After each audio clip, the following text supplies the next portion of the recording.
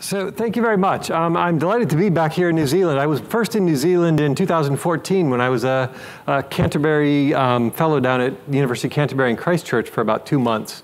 And I suspect my getting to know um, uh, James Smithies down there was part of the reason I've been invited here today because I understand that he's been part of this community for quite a long time. So, uh, a little bit about what I'll be talking about today. I've got about an hour of your time, and I want to talk about this idea of knowledge machines, and hopefully it will all become a little clearer as I go along what that means, since it's a bit of an opaque term, possibly. Before I really get started, let me give a bit of background of myself and establish my street cred for being at an organization like this. Um, as Andy pointed out, the Oxford Internet Institute, it's a interesting multidisciplinary place. Let me get my glass of water. I am definitely a little bit um, dried out and jet lagged from traveling so far. We're a multidisciplinary department. Don't let the name inst institute throw you. We're actually a department in the social sciences division at the University of Oxford. We've got about um, every time our director says how many faculty we have, the number seems to grow, and so I don't know what the actual number is. It's somewhere between 45 and 50 these days um, at various stages of their career. We've also got about 50 master's students and about 25 doctoral students at any given time trying to do this interesting thing of understanding life online. And if you know Oxford at all, Oxford's a very slow-moving beast of an institution in some ways. It's been around for over 800 years.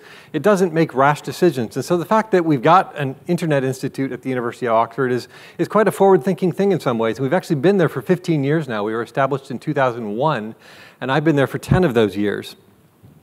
Um, as you can see, I'm professor of social informatics, and if you, you will be forgiven for not knowing what social informatics is, on my next slide I will explain it to you, um, hopefully in a way that you'll remember, and also director of graduate studies there at the OII. I'm also a faculty fellow at the Alan Turing Institute, and I won't have much time to talk about the Alan Turing Institute today, but if, if you want to catch me in one of the breaks or something, I can talk about what's going on with data science in the UK, because that's what the Alan Turing Institute is all about. It's about advancing data science, not only in the UK, but around the world. So, social informatics. What is this? Uh, you will be forgiven if you haven't run across this term that much before. There's not that many of us in the world. My own degree is in social informatics and information science. I, I got my PhD at the School of Library and Information Science at Indiana in Bloomington and studied with the person who was considered the father of social informatics, Rob Kling. He unfortunately died a number of years ago. But he really influenced the way I think about the world. And this word is how I use to explain people in a very simple way what social informatics means. Do I have a pointer on here? Uh, there. So socio-technical, and I, and I spell it with a hyphen. This actually caused quite a bit of fights with my editor for the book that was just mentioned because they didn't like spelling it with a hyphen and they kept trying to take it out. I said, no, it's important. It matters, and you'll see why. Um, when you think, think of the word socio-technical, the left side is obviously socio, social, people, things that are, are in the world around us and technical, the kinds of objects and, and machines and data and computers that we think about. And I have argued in this article, if you'd like to look it up, that what social informatics does is examine the hyphen in socio-technical. So how the people are connected to the technology. I'm really interested in that connection between the two. And this differs from some other areas that try to understand socio-technical systems or, or, or, the relationships between people and technology. Um, any of you who um, have an academic background in this area called science and technology studies, they tend to focus very heavy on the socio and then bring in the technical later. Some of you who might be from computer science backgrounds tend to start with the technical and then bring in people at the end to make sure that things work and do user interface design. But when I go into a new project, I try and understand it from not predetermining whether the social or the technical is more important in any given situation. So I look at that hyphen. Now, one way to think about how one looks at this hyphen and to think about the, the complications of putting people and technologies together is I like thinking about a picture like this. So this is Los Angeles, a picture borrowed from Flickr, um, Creative Commons, so it's legal to put it up here. Uh, if you think about the affordances, affordances is an idea of the, the kinds of things that technology lets you do. What are the affordances of cars and roads? Well, they let you do certain kinds of things and build certain kinds of configurations. In the case of Los Angeles, for any of you who've been there, um, they've got giant freeways with lots of cars rushing around all the time, and people drive every place. I used to live in California.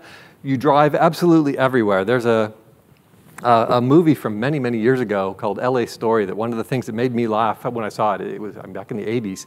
Um, uh, Steve Martin's in it, and he walks out of his house and he gets in his car and he drives about 20 feet forward and gets out of the car and walks down to his neighbor's house because in Los Angeles you drive absolutely everywhere, even if it's walking over to the neighbors.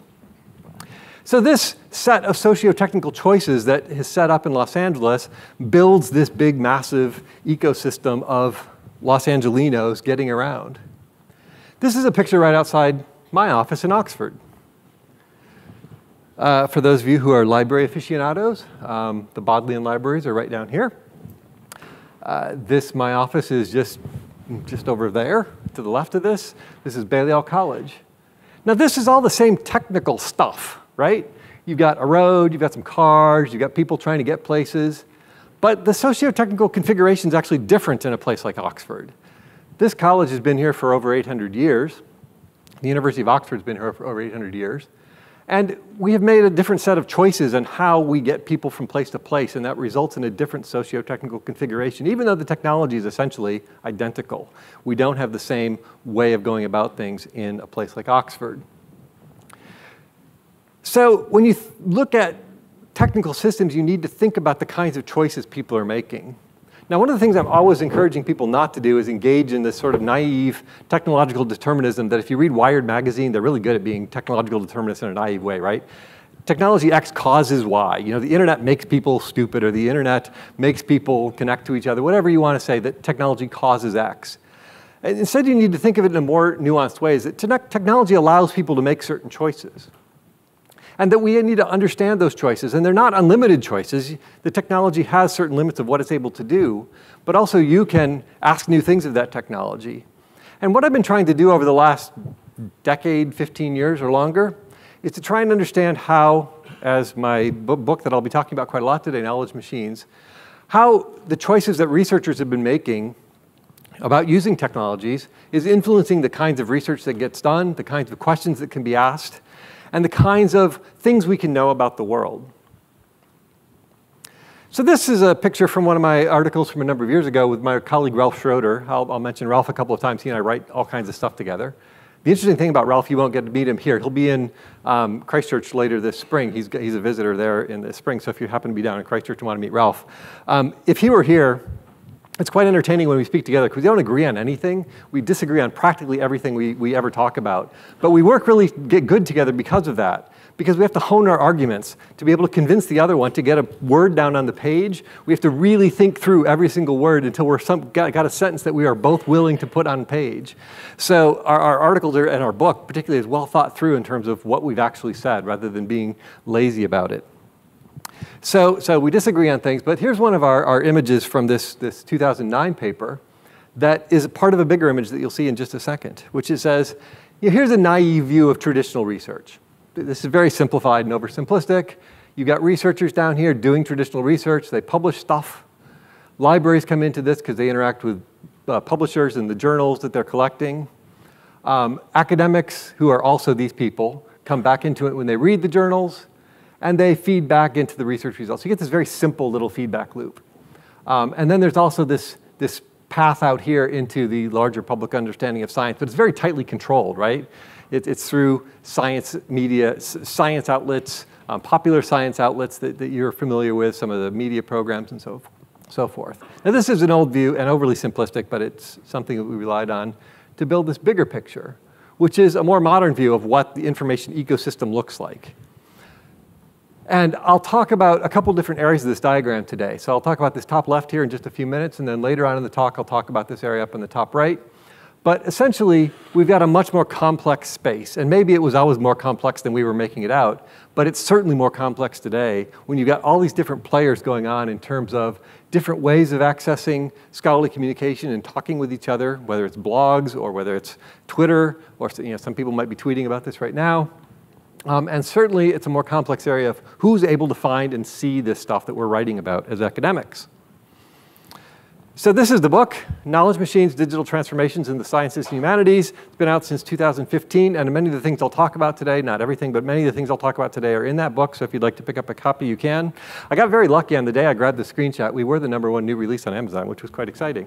Um, it's not true anymore. That was quite a long time ago. So what about this top left corner of this diagram? This area that we call e-research. How many of you even heard the word e-research? It's sort of few people, eh, pretty good actually. That's better than some, some audiences I do this to. E-research used to be um, quite a common parlance, particularly in the UK.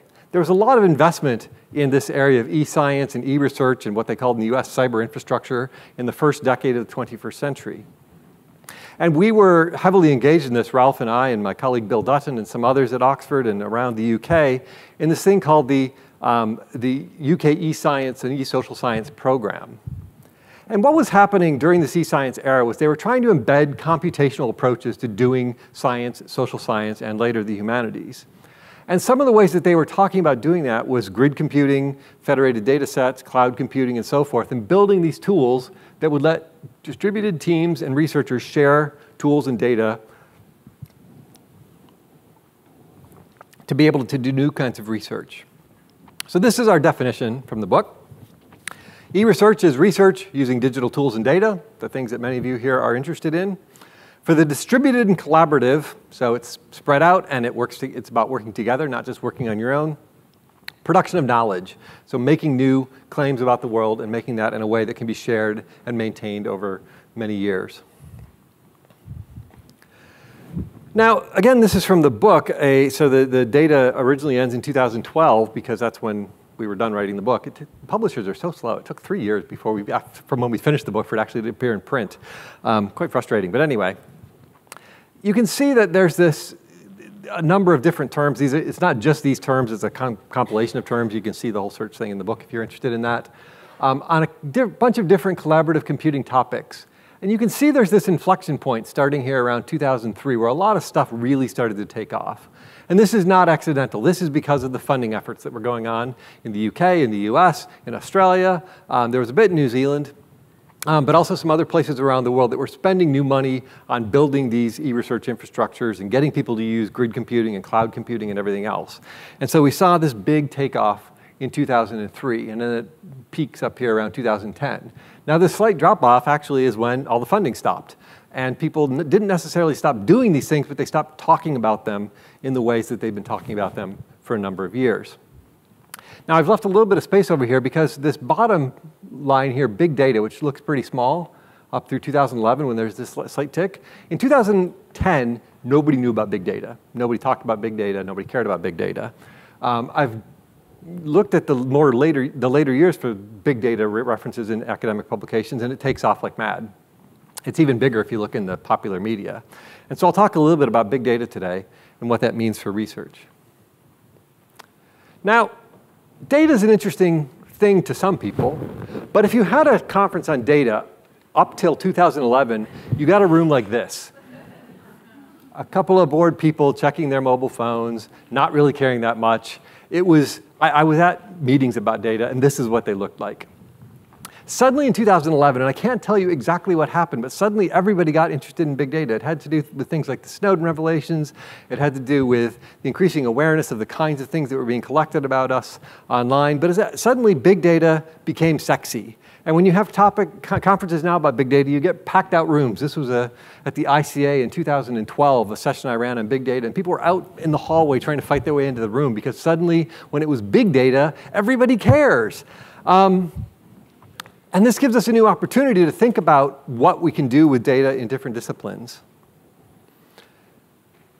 Now, what I'm going to do for the next half an hour or so is give you a couple of examples that come from our book and our other work and some of our other projects that aren't in the book that talk about the fact that in an increasingly interdisciplinary world, as I said at the beginning, I live in an interdisciplinary world at the OII, but like it or not, disciplines still matter. Most people are trained into thinking about the world in disciplinary ways. They learn how what the rules of the world are very early on. I remember once we did a project where we worked with some second year undergraduates at a college in London, and these history students had taken on all of the, not only language, but the biases of their faculty members in their second year of undergraduate. They had somehow gotten in their heads that digital things were dirty, that you should hide the fact that you've done anything digital. Um, we were asking these students and we said, well, you know, do you use Wikipedia? And they, they sort of, you know, look around. Well, yeah, but don't tell anybody. Um, and the, when, when we asked them about when they would build their lists of references at the end of their papers, we said, well, do you cite things in a digital, you know, do you indicate that they came from a digital resource? And they said, well, you know, I get all my stuff through digital resources, but I would never do that. If I've built my list of references and there seem like there's too many URLs, I just delete them until it looks like I've done real work. Um, because somehow sitting at the computer isn't real work. So these kinds of disciplinary norms are trained into us quite early. We see this again and again when we look at some of these examples that I'll talk about today. So I've got about two examples from each of these areas of sciences, social sciences, humanities, and arts. These are very brief versions of all these. I could talk for an hour about each of these, but I won't be, be a Fidel Castro sort of afternoon here and keep you until midnight talking about the different cases. Um, but I'll give you just a brief overview of some of these things. So two quick examples from the sciences. Now, before I start on these, I want to talk a little bit about this scientific styles work that we rely on the book, which is based on Ian Hacking, who's a, a histor historian of science. And um, he based this on an earlier philosopher of science called Crombie.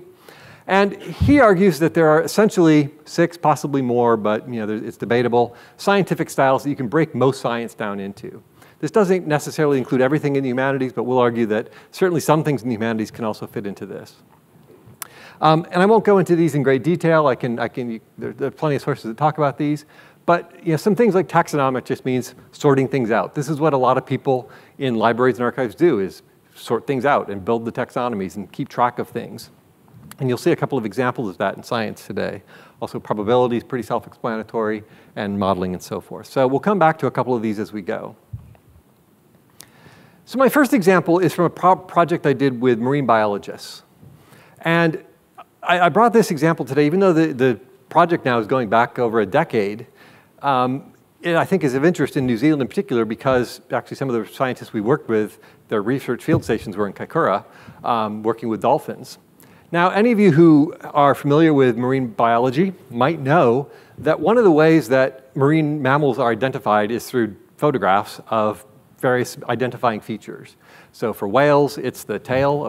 For humpback whales, at least, it's the tail. For blue whales, it's patterns on the side. For dolphins, it's the nicks and notches in the, in the dorsal fin. And these, you can take a picture of a humpback whale, for instance.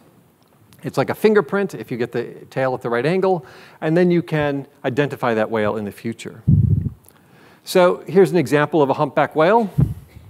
And this one, you can see, is the same animal, obviously, right? This one actually is pretty obvious. Anyone see the obvious feature on this one?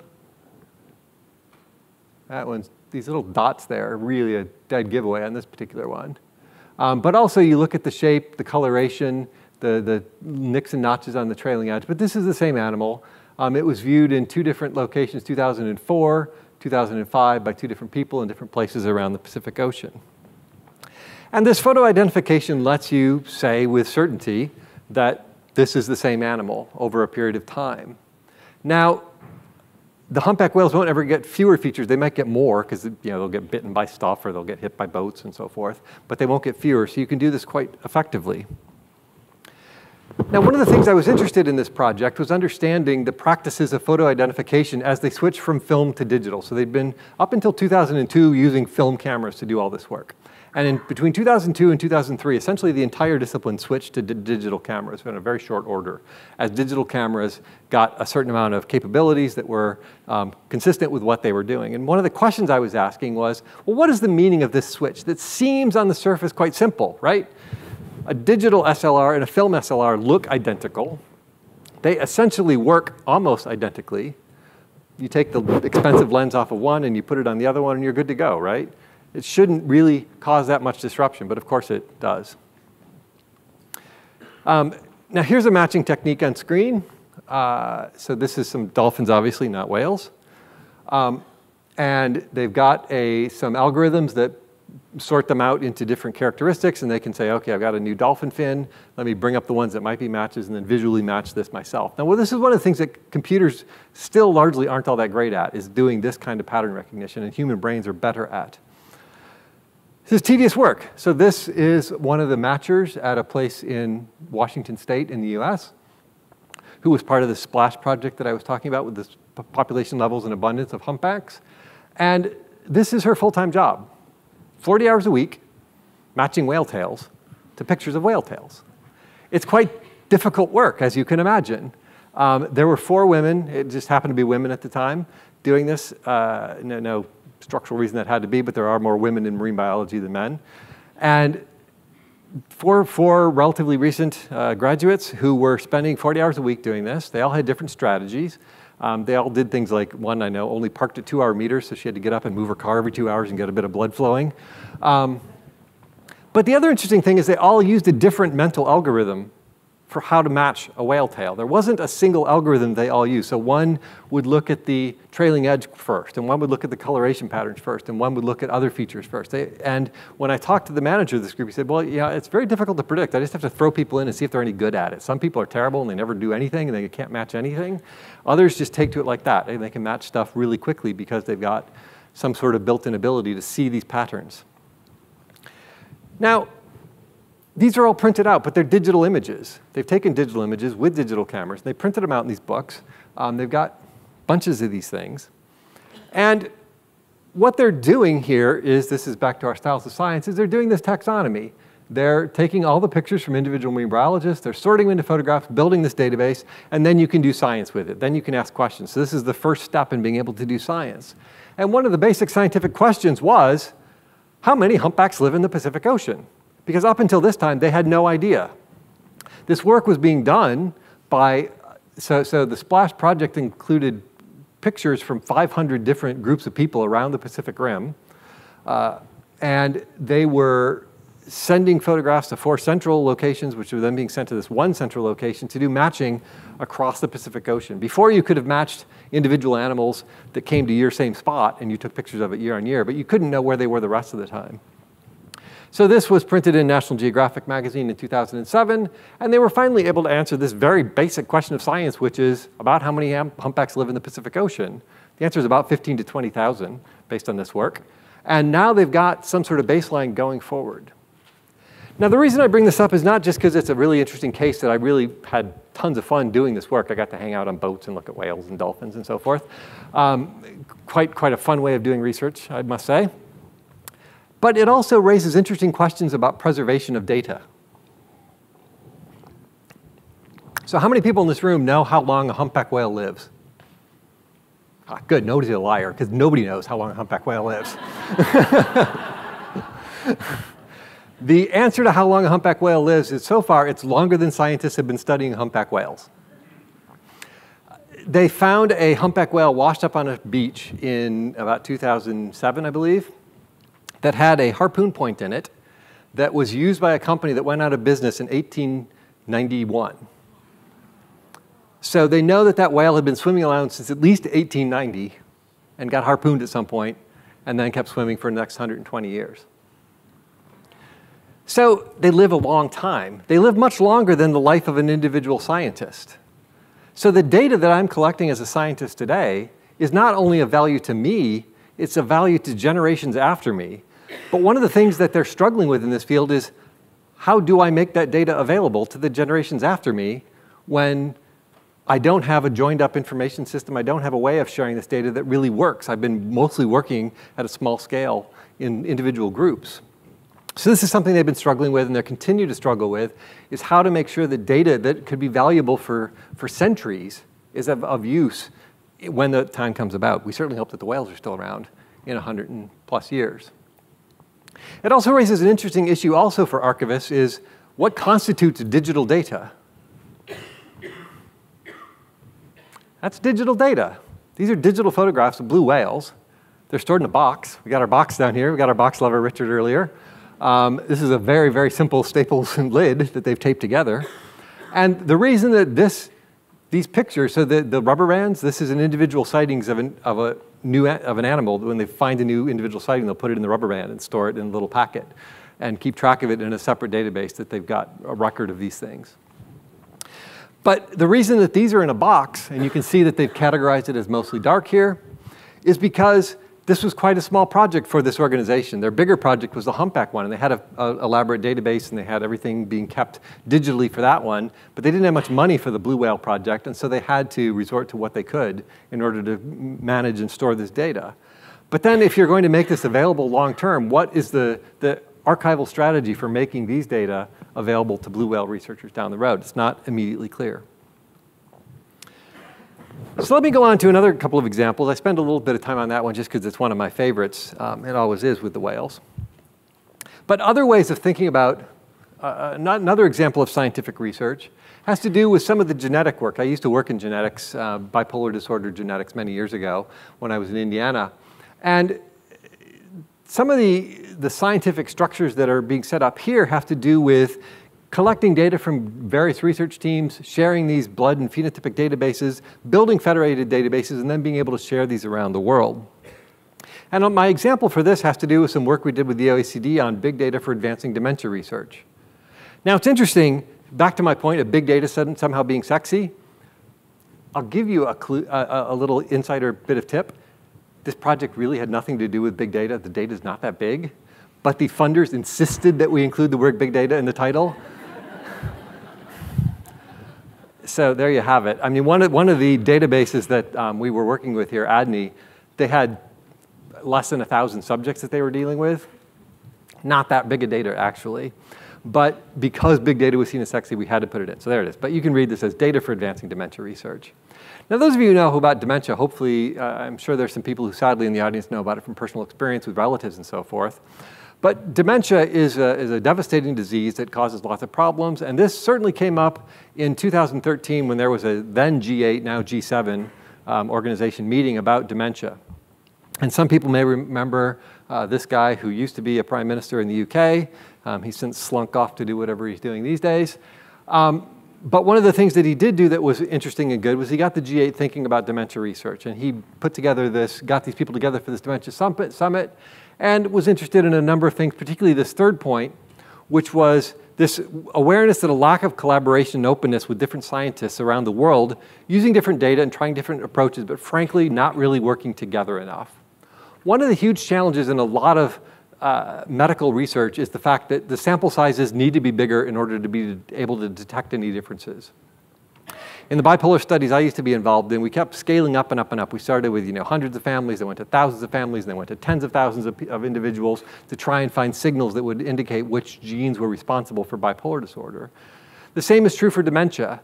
Essentially, we don't know exactly what causes dementia. We certainly don't know exactly how to treat dementia. And if you're going to come up with answers to this, you've got to start sharing globally rather than being based in just a small area, which is how scientists are trained. Back to this question I raised earlier about the disciplinary differences. When you're in medical science, you're trained that your data is very valuable. You don't want to get scooped, and you want to be able to wrest as much value out of your data as you can before you give it off to other people. So we worked with the OECD on this, and we came up with this diagram that goes all, all credit goes to my um, research assistant, Ulrika Deetjen, who came up with this, which was trying to understand some of the structural challenges to data sharing for dementia researchers. And you can see there's some things the ice, above the water here on our, our little iceberg, which are the technical challenges, which are, are sort of fixable, not that actually difficult, quite frankly.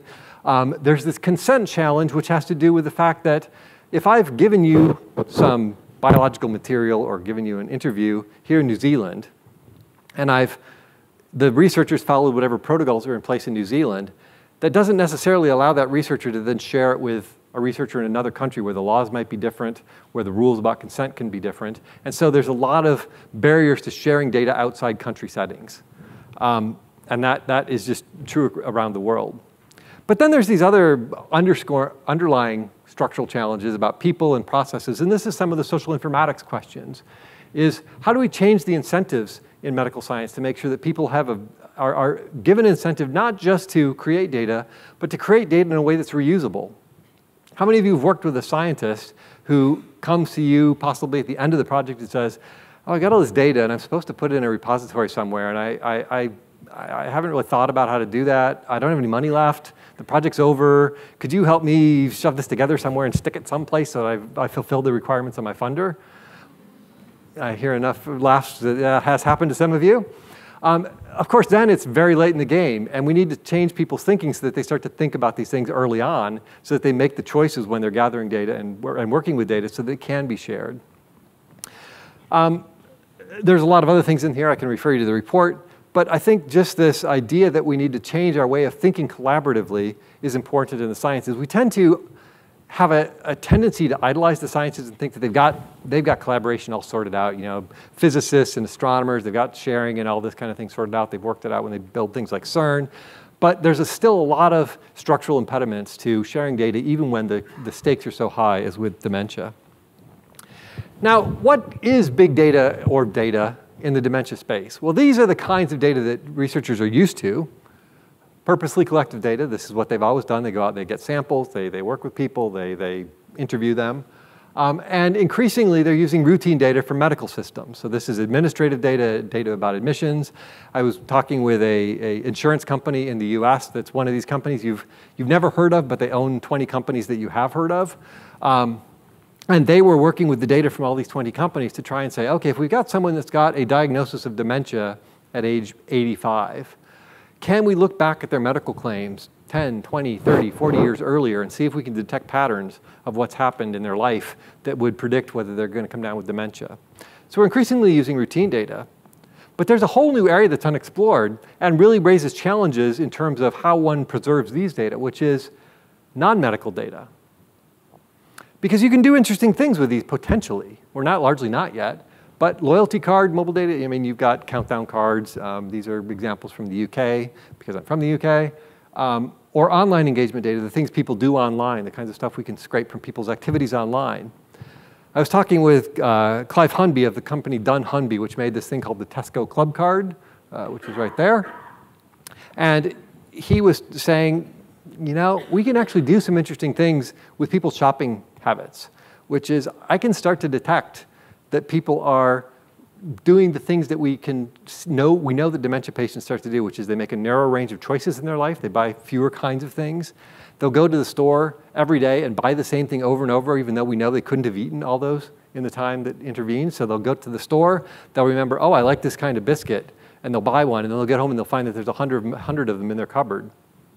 Um, so you can start to potentially detect these things in people's shopping habits, but then how ethically does Tesco or Countdown or anybody else share that data with a medical researcher that doesn't violate people's privacy but does help us advance our understanding and potentially our ability to, to help the people who are suffering from this. It's a completely uncharted space, but it opens a large potential for being able to do interesting new things. So big data is about these traces we leave everywhere. And this is what I'll segue in just a second into the social sciences. Certainly, many of you, probably all of you in this room, have some kind of mobile phone on you that knows exactly where you are um, at all times. Uh, increasingly, some of us will be driving self-driving cars that will know exactly where it's taking us and what our habits are. Um, whenever you spend anything, retailers know all sorts of things about you. How many people recognize that thing there? Yeah, what is it? So it's an RFID tag. Um, do our badges have these on the back? Are you tracking us now? I've been to conferences before that have these RFID badges on the back, and I'll usually go to the conference organizer and say, so, what are you tracking? Um, what are you doing with this data? And if they don't know, I just tear it off and throw it away. Um, but increasingly, these kinds of tags and ways of tracking us are out there and being able to know things about us. And the question is, can we use these in ways to advance science without infringing upon people's personal liberties and their rights to have their privacy respected. Some of you probably saw this example that scares people. Um, Target is an American retailer. How many people saw this example a couple years ago? So about a third of the room, so I can tell the rest. So this happened in 2012 and was reported in Forbes and New York Times and other sorts of things. said Target figured out someone was pregnant. And okay, they, they do this by looking at the purchases you make. You buy unscented hand creams, you buy other combinations of stuff. So by the second trimester, an organization like Target can know that you're probably pregnant if you're a female and you're doing these kinds of purchases. They know this from mining everybody's activities. You've all gotten this happening to you and you're offered coupons in order to save money and they're quite accurate. Or when you've gone to Amazon and it suggests a certain kind of purchases based on your past purchases. Now what freaks everybody out, of course, is this part of the title that they figured out a teen girl was pregnant before her father knew. And the father said, Target, why are you sending my 15 year old daughter or 16 year old daughter, however she was, coupons for, for nappies? And it turns out Target knew a lot more than the father did. The, the teen daughter was pregnant and hadn't told her parents yet. And people start to then worry wait a minute, how is this big data shaping what we are able to know about our own families in the world when a retailer knows more than, than I do about my own family? So it raises some interesting questions when we combine the National Health Service in the UK with something like Clubcard. What does that lead to in terms of research? And what does it mean for the organizations that are meant to do something with this data to make it reusable in the future? Uh, it's one thing if that researcher that I mentioned earlier who comes to you and says, yeah, I've got this data, could you please sort it out and store it someplace? Also says, oh yeah, and by the way, a whole pile of the data is a proprietary data set from a private retailer that has this huge non-disclosure agreement attached to it that they made us sign before they would give us anything. Uh, can you please sort that out for me? You know, that as a whole layer of complexity toward being able to do anything with these data down the road. And it really um, has some profound implications for how science is done if we can't share these sort of proprietary data. Okay, so two quick examples from the social sciences um, about the ways that we're using things like the internet. This first example I'll give very quickly. This is from one of our articles that was just published this year that we published in the, on the occasion of the 25th anniversary of the web. Um, and we were looking at how the internet has become embedded in different kinds of research. For those of you who took my workshop um, yesterday morning, you'll recognize these diagrams. For the rest of you, I'll explain it quick, quite quickly. These diagrams, the, the, sort of gray dots or whatever color they are, um, represent all of science as indicated, as represented on the database Scopus. Um, these were created by a, a, colleague of mine named Loet Leydesdorff, who's in the Netherlands, and it's based on 50 years of journal citations to each other. So if journals cite each other a lot, they're probably pretty close. They're probably in the same areas. And then you overlay a, a, a, new research topic onto these to see how it spreads across the different disciplines. So this is the internet as a research um, area of research or a contributor to research in different disciplines. And you can see 1990, it's you know, sort of scattered all over the place. By 1995, the social sciences are down here, the humanities are down in this little tail, uh, medicine's over here. This is sort of science and engineering and maths up there. It's starting to really spread across all disciplines. Till 2015, when the internet is being showing up in all kinds of publications across all disciplines. It's really pervasive of the way knowledge is being generated. And this is obviously of interest to someone like me who's interested in how knowledge changes and grows, but it's also interesting to anybody in these disciplines who stops to think about the fact that the internet really has become a central part of what happens across all disciplines in a way that uh, some of us were able to predict 25 years ago, but certainly not everybody was able to predict. You know, my uh, Sir Tim Berners-Lee, who was mentioned in the previous talk, he's um, recently taken up an appointment at Oxford, and you know, one of the interesting things about the World Wide Web is when you when you meet Sir Tim, you have to wonder, I mean, he's, he's got genius certainly, but you wonder whether the insight into creating the World Wide Web was a result of his genius at seeing how the world should work or just the fact that that's actually how his brain works. Um, when you hear him talk, it's very nonlinear. He, he, he sort of bounces off in different directions as he follows links in his own mind as he's speaking. And so in some ways, what we've created on the World Wide Web is the internal workings of Tim Berners-Lee's brain which is, is quite liberating and exciting because he's, he is a genius. But it has caused us to also start to think in these ways as we start to think about these connections around the world rather than in linear ways of going to a library or a museum and asking someone to give us the answer on something. We're taken off in all these various directions. And then one other quick example from the social sciences um, has to do with web archives. And I brought this example just because some of you in this room may have dealt with web archives. Anybody here worked with web archives at all? One or two, a few, okay, a few scattered around. Um, web archives are deeply frustrating to me. I've been working with them for a number of years.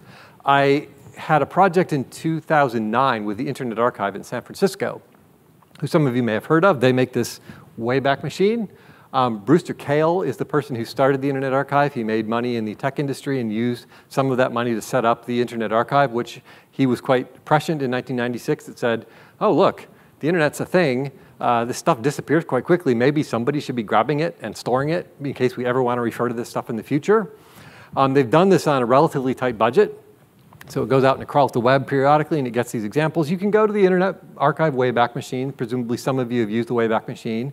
And if you know an old web page, you can find the different snapshots that have been taken of that. So you can see what, um, I guess I should have done this for today's talk, you know, what did Te Papa's website look like in different times over the past. Now, that's great if you want to look at things individually, but if you want to look at things in any sort of bigger way, the interface doesn't allow that. It just allows you to put in a single URL. So we've been working with the British Library and others in the UK Web Archive to try and do some things like build search interfaces. The, the Internet Archive doesn't have a search interface largely because they can't index it as quickly as the data comes in, so they, there's no way to keep the search uh, index up to date. Um, or some of these advanced search tools. This was from a project, and this slide is uh, courtesy one of my research assistants, um, that we were working with the British Library to come up with some more ways to search within the resources being held in the web archives. Now, there's a huge problem with web archives in the UK and within some other countries in that the legislation that allows the British Library and the other depository libraries to actually gather web archive data in the UK only allows there to be one copy on one machine usable in the library. Okay, well, that's good if you want to go look up individual pages, but if you want to do anything programmatically with that, it's extremely difficult. So we've been working with them um, at the Alan Turing Institute, actually, that I mentioned at the beginning, on how to use computation without breaking the law, but can let us still answer interesting questions of this data that now spans 25 years. Because historians of the future will want to know what was going on on the web today, because this is where so much is happening of what we're doing in the world. So this was one of the first projects using any sort of uh, computational approach to the web archives. This was with my colleagues. Uh, Scott Hale was one of my former doctoral students. He's now a researcher at the OII. Taha Yasseri, Josh Cowls, and, and other colleagues.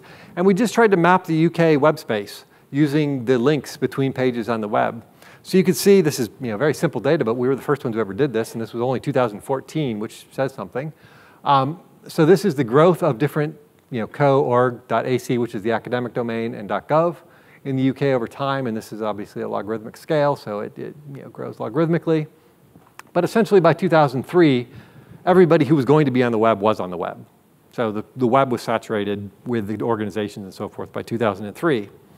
And you can look at the relative sector size. The academic sector had a much larger proportion, even though com was always, or the, uh, the commercial sector was always the biggest. Um, academic had a much larger proportion, so even though it grew a little bit, it got you know, disappeared in terms of the overall volume of web pages. And this was a little interesting bit we did out of this paper, which said, okay, how do these sectors link to each other? And so this is normalized, otherwise the co-co just ends up dwarfing everything else. Um, but which sectors link? And so the outside color shows you the, the, the curve going from that domain to something else. So you can see that Co sends a lot of things over here to Gov. So they send links over to Gov. Um, Gov doesn't send lots of links to too many other people other than other government institutions. Um, academics quite like to link to ourselves. So this is academics linking right back to themselves. And they link out to government, but government, uh, let's see, doesn't send much of anything back over here to academics. So they don't care what academics, there's, there's government sending things back to academics is a little tiny one. So this lets us understand some basic questions about who's connected to who on the web. Very simple stuff. We're now trying to extend this and answer these bigger questions about how it's grown. This, and there's pictures for this over the various years of the, the sample. Okay, so those are quick examples from the social sciences, but moving on also to the humanities, which some of you are probably interested in. Um, I'll give you this one quick example that comes from my colleague Ralph's work um, about Pynchon Wiki. I don't know if any of you are fans of the American uh, novelist Thomas Pynchon. If you are, you know that he writes these very dense novels that have lots of hidden meaning in them. There's lots of layers of, of meaning. And when he wrote his book, Against the Day, or was about to publish his book, Against the Day, um, a, a, a, chap whose, whose name is now eluding me in California thought, oh, we should annotate this. You know, there had been a previous annotation of Gravity's Rainbow, and this took about 10 years for Weisenburger with 22 contributors to write. And the Pynchon Wiki was set up to say, could we do this maybe a bit quicker than 10 years so we can use this annotation more quickly? So they did. They set it up, they got a bunch of contributors, and they were able to annotate all of Against the Day in about three months. And you know, through a number of spot checks of different kinds of quality measures, essentially, it was a really high quality annotation. They've since gone back and annotated a lot of Pynchon's other novels and also you know, novels subsequently. And they, this is, raises an interesting point of a new way of doing a humanities task, which is annotating a complex novel, can be done by a crowd and can be done quite effectively by a crowd. Um, but this wiki, this was done by a non-academic, he was just an enthusiast, This, the machine running it is sitting under his desk. It's a sort of crappy old machine that he had lying around that could, could run a piece of wiki software. Um, you know, there, there was no plan at all for what the lifespan of this might be if it were to disappear, if he, if he lost his ability to run it or the machine broke down. And I think it raises interesting questions. So if you've got a valuable resource like this, you know, Weisenburger's Gravity's Rainbow, libraries purchased, they had them on their shelves, they stored them, people could access them down the road. I can't make you any guarantee that this resource will still be available in 20 years' time if someone wants to go back and consult it, except through some archive someplace.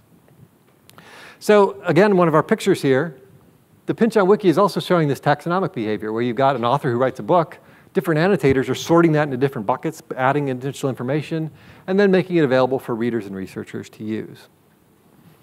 And then one other example from the humanities space is this whole area of discovery and how we're finding out about information. This comes from a couple of different projects that we did with this thing called the Research Information Network. And we were looking at humanities information practices, and I'll briefly talk about scientific information practices as well. And we were interested in a number of things in these studies. You know, there's lots of stuff in the report that you can look at. But one of the questions had to do with, um, and this was 2011, um, was there becoming a Googleopoly? You know, did Google just own all search, and could the rest of us just pack up our bags and go home and leave it all to Google because they would sort it out all for us? And, oops, ah. Uh, when we did a survey of some of these people, we found that 79% considered Google to be an important resource, and 66% considered Google Scholar to be an important resource. It's pretty big. But also, there were a lot of other things that people considered to be important resources visiting libraries, browsing library materials online, following citations, um, and this bottom one of consulting peers and experts. People still rely on each other to know what's important. If they've got a new topic in their mind and they want to find out more about that, they go and they talk to someone they trust down the hallway or around the world via email or Skype. Now, this isn't true of just the humanities. Um, let me skip past this and go to the physical scientists. We also ask the same questions of physical scientists. They use Google a bit more, but they also rely heavily on peers and experts. The one thing the physical scientists don't think they do is use libraries. So browsing library materials in person, only 14%, searches of library materials, 16%. And we asked a lot of them questions about this. They said, oh yeah, I don't use libraries. I, know, I haven't been a librarian in decades. Um, and then we said, well, how do you get the journals you get? And they, oh, they just appear. I don't know where they come from. Um, and we said, well, you know, it might be your library providing that. Well, I guess I did, you know, when I travel, I can't get access to some of these things. So maybe somebody's providing, but I don't know who it is. Um, but they, did, they didn't think that libraries were even a remote part of their lives. They were completely divorced from what libraries were doing, even though libraries were providing a lot of this access. And it raises an interesting question for organizations like libraries and other memory institutions, is over the last 20 years, many libraries have gotten too good at becoming invisible. We've made our services so transparent that people forget that they're even using them, which is good on one level because you can just, uh, if you're on a network that's got access to something, you click and it uh, gives you an article or a result or a, a, a, a subscription-based resource. But if you're making that too invisible, then people don't think that they're using these resources at all. And then to wrap up, before I give my couple, couple of final slides, two quick examples from the arts that I think are interesting. And this is work that I largely do for fun, just because I like the arts. I've got a background in the arts. And so I, I, often do these projects quite cheaply because I'm willing to participate for practically nothing just to have some fun. So this is something some of you might have heard of, Bitcoin, right? Uh, this is a, a cover of a rather weirdly designed magazine talking about Bitcoin and this whole notion of, of Bitcoin. And I won't go into any great detail about how Bitcoin works. For those of you who are interested, you can talk to me during a break. But essentially, it uses this thing called the blockchain. And you're to be forgiven if you don't understand much about it. Up to a year ago, I didn't understand anything about it, but my colleague Vili Lehdonvirta has done a lot of training to teach me what I'm talking about. Um, essentially, what the blockchain lets you do is store records in a public space that anybody can see that a record has been changed, updated, happened, owned, whatever. Um, they can't necessarily see the content of that, but they can see that the transaction happened. And this is all done in public and visibly. Rather than a database being a private thing that only one person can see and control, anybody can see it and they can see that the transactions have happened. Now, this is interesting in the art world, as it turns out.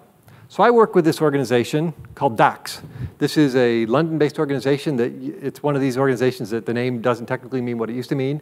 It used to mean Design and Artist Copyright Society, but now it's just DACS is DACS. It doesn't mean that anymore. Um, and what they do is they help artists get the payments that they deserve because of their art. And so they, they're designed by artists for artists. I've been working with them for a number of years. And the CIO of, or CEO of DACS called me up number of months ago and said, I need some of your time, Eric. I need to understand this blockchain stuff. And at the time, I didn't understand. And I said, okay, Gilane, well, I'll do what I can. And we've been working with them since to think about how blockchain might be used in the art world to be able to solve some of their problems. Because some of these problems are things that I hadn't even thought about. So they've got some things in the UK. Again, apologies for having mostly UK examples, but that's where I work. Um, this artist resale right. Has your work been resold on the art market for $1,000 or more? In the UK, or 1,000 pounds or more, or euros, whatever it is. Um, you've got a right as an artist to get some of that income if someone resells your painting on, and that's owed to you or to your estate. Um, but actually tracking that down and making these payments available to artists is quite a tricky thing. And so the question being asked is, can blockchain make this more transparent and more able to track over time that these sorts of things are happening? Because if we've got a blockchain record attached to a piece of artwork, when it sells and the blockchain records that that transaction has happened and that that piece of artwork has been sold as a matter of practice for the provenance of that piece of art, then the payment that's owed to the artist can automatically flow to the artist through the blockchain.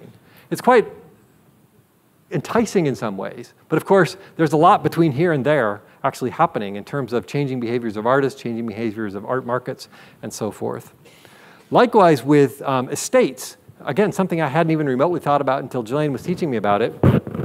When an artist is alive, Getting the money to them is a relatively straightforward thing if, you, if they know money's owed to them. But the minute they die, life becomes much more complicated for an organization like DACS because many artists have very complex estates. And money that comes to the estate might be distributed amongst many people in different fractional amounts. And so it could be, you know, a child gets this much, but some nephew gets a, another fraction of a percent. And can they use blockchain to start to sort out these fractional payments that are moving out across the way, uh, across a large group of people or organizations? This is something actually blockchain is very good at, but is just moving into this space. So um, we're working with this organization that makes this thing called ascribe. They're called BigChainDB now. Um, also another organization called Verisart that are trying to build these technologies, but they're building them in a way, and we're working with them to say, will this actually work for artists themselves. And then my last example, which I bring up just because, again, it's fun, um, about how young people learn to collaborate with digital tools. So this was a project I did with a couple of colleagues down in Swindon who are filmmakers. And we worked with a group of school kids to make films using nothing but an iPad. So they did the, the Keith Phillips, who was one of the co-authors on this little report, um, he's a filmmaker and he's been going to schools for years teaching students how to make films with you know, big digital camera, big video cameras and things. And we said, what if we just gave them iPads, nothing else? iPads with a bit of software on it, and said, you know, here are the tools for storytelling.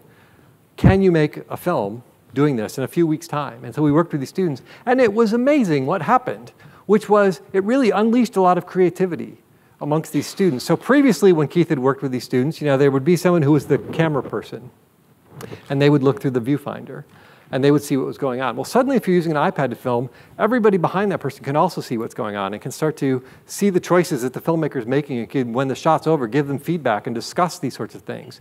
They were doing the editing back in the room on the big screen with the iPad, so they were seeing the editing choices that were being made. And they were making a lot of really interesting collaborative choices as a group of young artists or young just people to understand how the world worked using this new digital technology. One of the films was actually invited to a, uh, uh, uh, uh, international competition. Okay, so so what? My last couple of slides. What's the point of all this? So it used to be the case that finding stuff out was a huge um, skill needed in the world. So when I was an 11-year-old boy in rural Ohio, that's the town where I grew up, and the Bank of Elmore, the little town I grew up in, um, we had a teacher who gave us this thing called question of the day. And the question of the day was usually a question that was something you couldn't go find in our little inadequate school library. It was something you had to sort of ferret out an answer to. And one of the questions was, whose portrait is on the $100 bill? And in 1977 in small town America, there weren't a lot of $100 bills lying around. I'd never seen one in my life. Most people I knew had never seen one. And so I actually had to go to this bank and ask a teller, could I see a $100 bill because I'd like to know what it looked like. And she referred me to the vice president of the bank, and I went and sat at his desk. And we, he took me into the vault, and we got out a $100 bill, and he showed it to me. and I found out my answer. Now, of course, if you ask 11 year old kids today that question, it's a matter of seconds before they know the answer to the question. It's not any skill to be able to find the answer that Benjamin Franklin is on the $100 bill. It's so simple to find information. The question is, what can we do with that information that's out there? What can we do to analyze this, this data, this information? And I think this is the new skill that we need to be thinking about. Now, one of the questions it raises is whether, whether the easy availability of certain data will really bias the kinds of research we do. A lot of my colleagues do things with Flickr and Twitter and YouTube and so forth, um, and I talked a little bit about this in my workshop.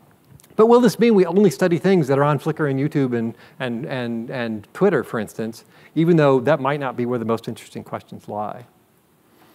And also, we got a big challenge as we move from um, this area that I won't, I don't have time to really focus on, but science, um, whether we rely on each other and whether we're certain what we ought to do.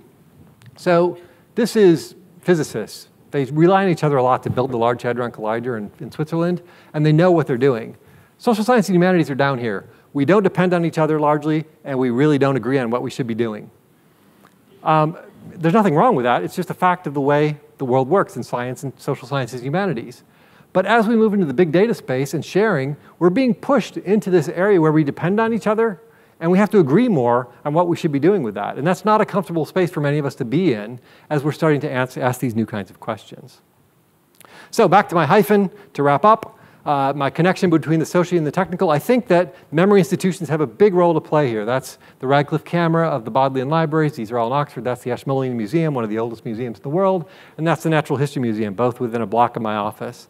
I'm working with all these organizations to think about how to use digital strategies to work with the kinds of data I've been talking about today in order to make sure that research can happen and that these kinds of questions will be moving science forward and the social sciences and the humanities forward in interesting ways in the future. And I think these are the same challenges I'm probably preaching to the choir for everyone in this room. So that's all I've got. I'm happy during the breaks. I've taken up uh, just almost my time, maybe two minutes over. Um, I'm happy during any of the breaks to answer any of your questions and so forth. I'll be around for the rest of the conference also. Anybody down in Christchurch, I'm going to be giving a similar talk and a similar workshop down in Christchurch on Thursday and Friday, and then I'll be up at the Auckland Museum on December 12th, anybody who's based up there. And I'm happy to talk to people while I'm here in New Zealand. So thank you very much for your time and attention. Hopefully you've gotten something out of the talk today. Thanks.